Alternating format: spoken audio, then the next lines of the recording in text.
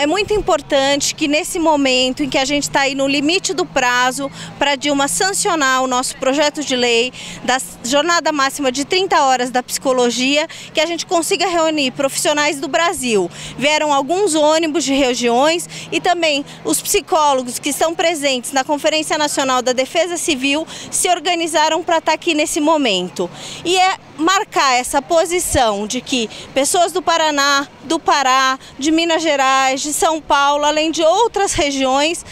Goiás puderam estar aqui para que a gente faça mesmo uma mobilização mostrando a importância da psicologia e marcando posição de que o tamanho da nossa categoria não onera né, o Estado-nação na questão da redução da jornada na relação salário e benefícios. Então, que esse argumento que funcionou para o veto das fono não deve funcionar para a gente. E também fizemos aí gestões com o Ministério da Saúde, com o Ministério da Assistência Social, porque a gente sabe que o prazo limite para que esses ministérios se posicionem e deem suas marcas para a Casa Civil em relação ao nosso projeto de lei é até amanhã. Então, estratégia estratégico que hoje a gente tem aqui, também para tentar influenciar essa posição dos ministérios. Agora pela manhã, conversamos no Conselho Nacional de Saúde com o ministro Arthur Quioro, que trouxe a questão aí da correlação de forças em relação ao projeto de lei da enfermagem, que está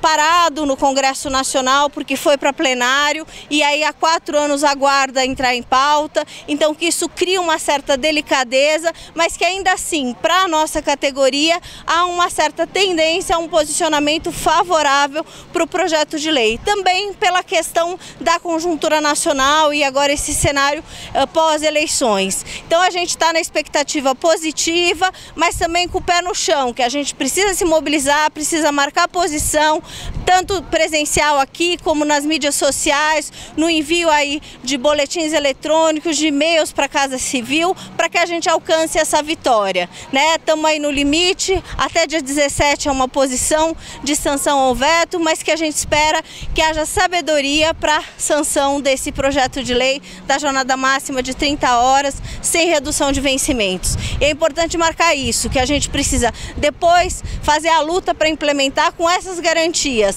sem a redução de vencimentos e sem prejuízo aos profissionais, para que a gente alcance isonomia com as assistentes sociais que na assistência já estão fazendo as 30 horas, que a gente construa uma boa boa relação para atendimento da população, porque a gente não quer em nenhum momento produzir prejuízo na assistência, na assistência social, na assistência à saúde. Os profissionais são comprometidos com o seu trabalho, são sérios, engajados e a redução de jornada não vai influenciar no